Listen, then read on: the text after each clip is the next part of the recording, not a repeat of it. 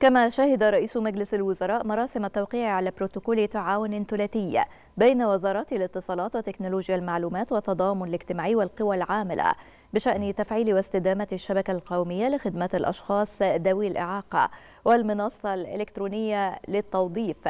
تأهيل. وعلى هامش التوقيع قال رئيس الوزراء إن بروتوكول التعاون يأتي تماشيا مع توصيات الرئيس عبد الفتاح السيسي خلال الاحتفالية السنوية قادرون باختلاف 2022 بدعم ذوي الهمم ودمجهم في المشروعات والمبادرات القومية.